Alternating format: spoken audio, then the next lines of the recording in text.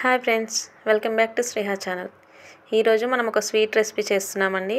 అదేంటంటే మీటే పారే అదే శంకర్ పాలే అండి. చాలా బాగుంటుంది ఈ రెసిపీ. దాని ప్రాసెస్ చూస్తున్నాం ఇక్కడ. ఇప్పుడు ఒక బౌల్ తీసుకొని నేను ఒక్క కప్పు షుగర్ వేసుకుంటున్నానండి. ఈ చూపిస్తున్నటువంటి కొలతలతో చేసుకుంటే సరిపోతుంది. ఒక కప్పు షుగర్లో కొంచెం వాటర్ యాడ్ చేసి ఈ షుగర్ని కరిగే వరకు తిప్పుకోవాలండి. ఇలా విస్కర్తో తిప్పేసుకుంటే అది కరిగిపోతుంది. షుగర్ మొత్తం కరిగిపోయాక చూడండి కరిగిపోయింది కదా. ఇప్పుడు దీంట్లో మనం నెయ్యి యాడ్ చేద్దామండి.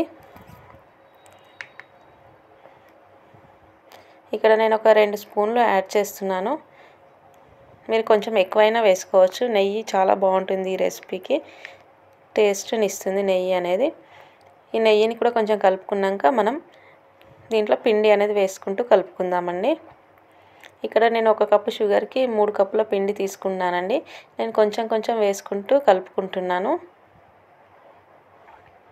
వాటర్ ఒకేసారి పోసుకోకుండా కావాలంటే మధ్య మధ్యలో కూడా పోసుకోవచ్చు. ఇక్కడ నేను తీసుకున్న వాటర్ సరిపోయిందండి.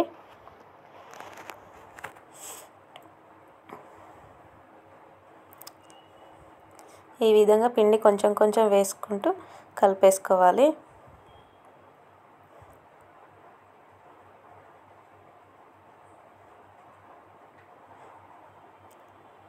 ఇప్పుడు మనం చేతితో కలిపేసుకుంటే పిండి అనేది బాగా వస్తుందండి.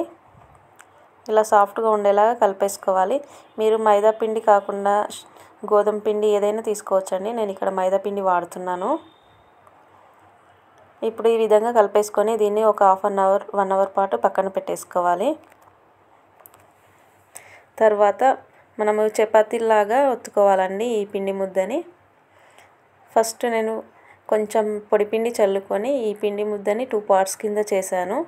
ఈ ఒక్కొక్క పిండి ముద్దను తీసుకొని నేను చపాతీ రోల్లాగా చేస్తున్నానండి.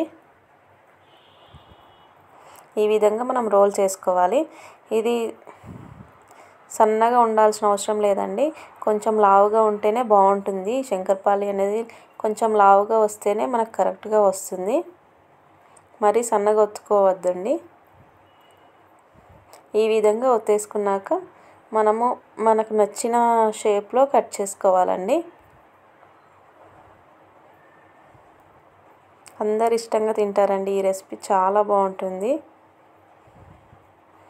ఈ విధంగా నేను ఫస్ట్ సైడ్స్ కట్ చేసుకొని తర్వాత నేను స్క్వేర్లో కట్ చేస్తున్నాను. మీకు ఎలా కావాలంటే అలా కట్ చేసుకోవచ్చు. ఈ విధంగా కట్ చేసుకుంటున్నానండి. ఇదే విధంగా నేను పిండి మొత్తాన్ని చేసి పక్కన పెట్టేసుకుంటున్నాను. ఇవన్నీ ఒక ప్లేట్లోకి వేసుకోవాలండి. ఒకదానిపైన ఒకటి వేస్తే అంటుకుపోయే ఛాన్స్ ఉంటుంది. కొంచెం పొడిపిండి చల్లుకుంటూ వేసుకోవాలి. ఇప్పుడు కాగుతున్నటువంటి నూనెలో ఇవి ఒక్కొక్కటిగా వేసుకొని ఫ్రై చేసుకోవాలండి. మంచి గోల్డెన్ కలర్ వచ్చే వరకు ఫ్రై చేసుకోవాలి. ఈ విధంగా ఫ్రై చేసుకుంటే బాగుంటుంది. మంచి కలర్ రానివ్వాలండి. ఫ్రెండ్స్ మీలో ఎవరైనా మన ఛానల్ ఫస్ట్ టైం చూస్తున్నట్టయితే సబ్స్క్రైబ్ చేసుకోండి. అలాగే మీకు ఈ రెసిపీస్ ట్రై చేసి ఎలా వచ్చిందో నాకు కమెంట్లో షేర్ చేసుకోండి. ఈ కలర్ వస్తే సరిపోతుందండి. ఇప్పుడు మనం తీసేసుకోవచ్చు వీటిని.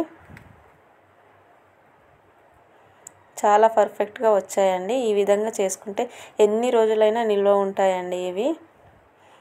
పిల్లలు పెద్దలు అందరు ఇష్టంగా తింటారు ఈ రెసిపీ.